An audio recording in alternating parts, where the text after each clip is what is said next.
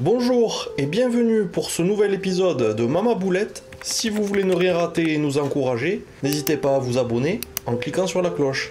Bon aujourd'hui, on va préparer de la tomate en vue d'une préparation de pizza.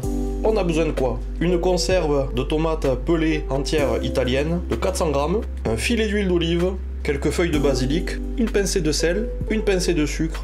C'est parti Je mets les tomates pelées dans le contenant et je les écrase. Si vous n'avez pas de presse purée, vous pouvez le faire avec les mains.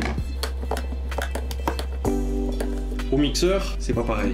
Un peu de sel, un peu de sucre, un filet d'huile d'olive, le basilic, on coupe grossièrement. Allez, on remélange. A few moments later. Ça y est, notre préparation est prête. On peut utiliser ça pour faire des bonnes pizzas.